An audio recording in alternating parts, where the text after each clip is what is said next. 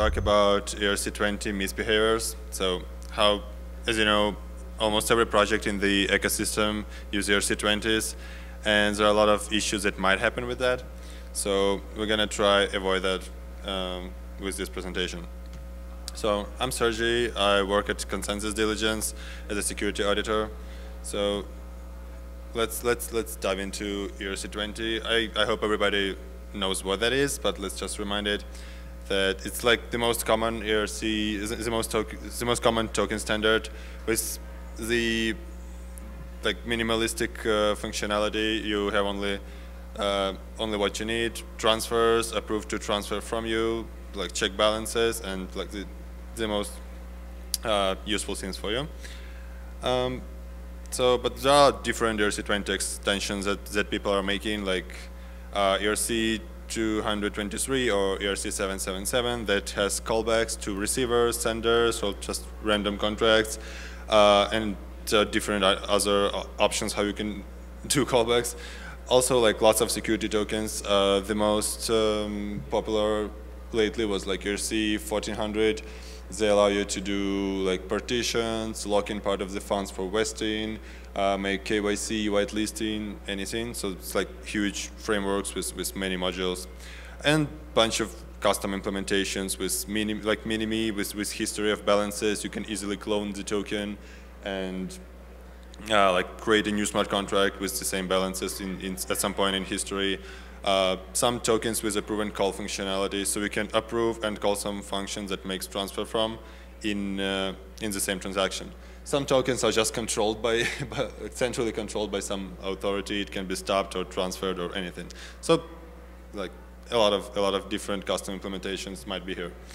Uh, before I dive into into common issues, like these issues are mostly relevant for for projects that are working with, with different different kind of random tokens like exchanges, uh, investment funds, they, they, try to invest in different tokens. Sometimes they are whitelisted, sometimes they just do anything.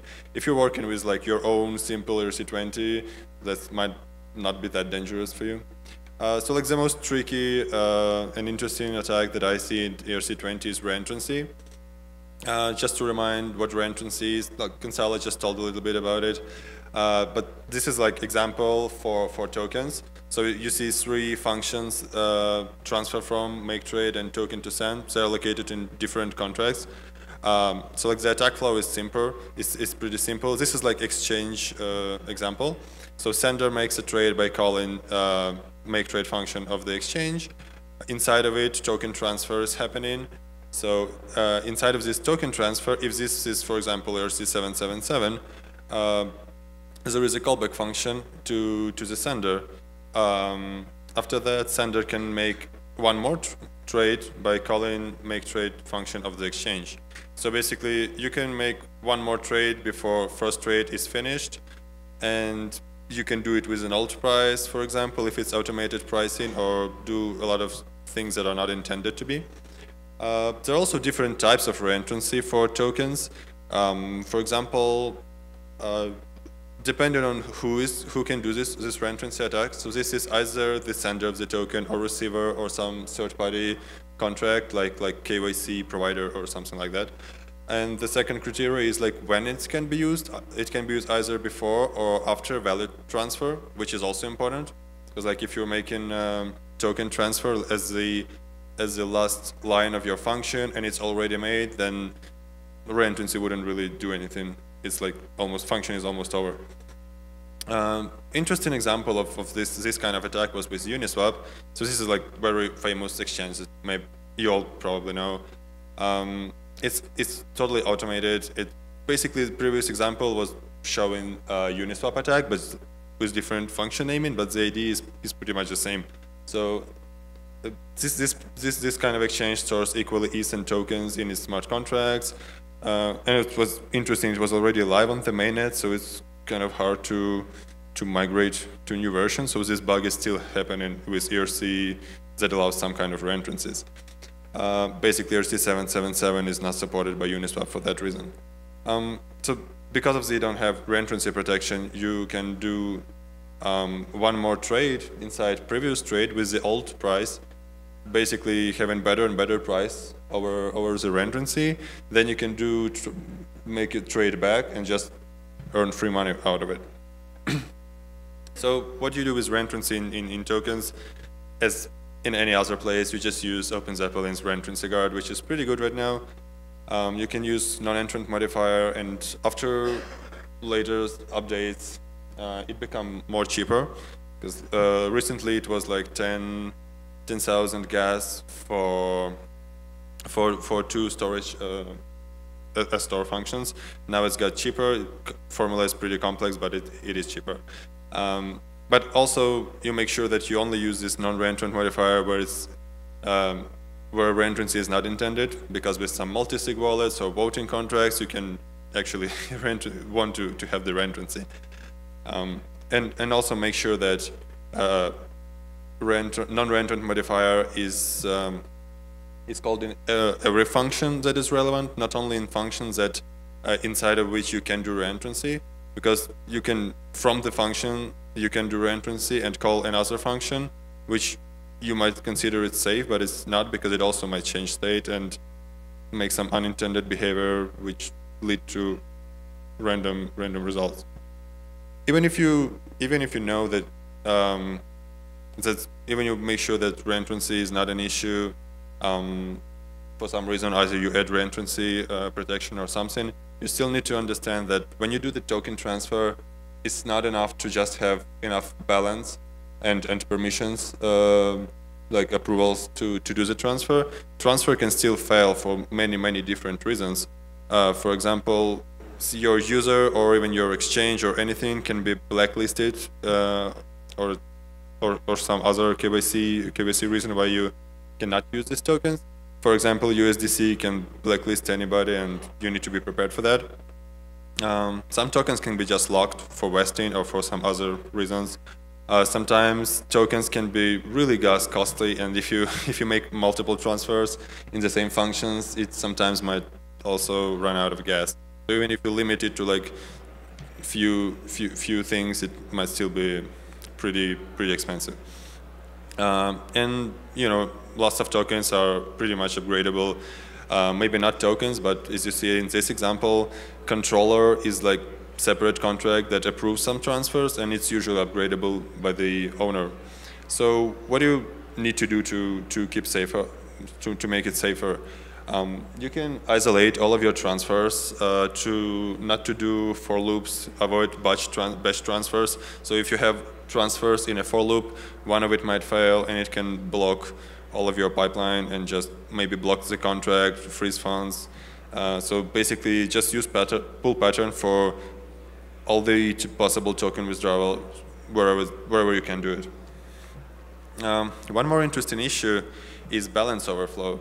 So you would usually expect that um, total supply is not overflowing, and and if if you if that happens, if balance is more than uint to to 56, um, that usually means that token is either malicious or broken or or both, and this token's price would would most likely be like worthless. It would be zero. But still, if you're working with lots of different tokens, for example, like in, in, in this example, you're assigning awards, and you have a for loop to, you're not making transfers, so you already took care about my previous uh, recommendation. You do not do transfer, but you store balances so people can withdraw them. But sometimes people still do it in, in a batches like that. And if one of the token is broken, you, this, this line of code will just revert because SafeMath add would, would revert because of the overflow. And because of that, you might just freeze your pipeline, and like all these tokens that should be assigned, they are locked forever and might be lost. So this is not a good behavior and possible remediations would be either just ignore SafeMath and allow overflows. So this is um, not a traditional advice because we usually we usually advise you to use SafeMath and just not allow any overflows. But sometimes it's it's the, the easiest choice how to how to fix it. Or you can sometimes store balances in two uint variables uh, to allow like much much bigger values, but that's like a huge huge um, huge cost of doing that. Um, also, this was an interesting issue uh, in the past that sometimes uh, some tokens are just not ERC20 compliant. So the the original implementation should return like every transfer transfer from should return true. Um, but there are some tokens uh, that just doesn't do it. As you can see, the last function is a wrong implementation of, of token transfer. For example, Binance token is like that, and there are like hundreds of tokens that also have these implementations. And um, the thing is that people, how people use it, like usage function that you see here, uh, how people use it, it's, um, it will just revert. Uh, it wasn't a problem initially, that's why we have so many tokens, because be, um, before one of the hard forks, uh, it was fine, it was always returning true and nobody noticed it, but after one of the hard forks, uh, uh, like some, something in EVM changed and now you basically always have false. Um, so yeah, uh, make sure that uh, if you if you want to work with these kind of tokens, you can check if it's returning value or not and, and work work this out. If not, you can just also ignore it, but um, but yeah, should be aware of it.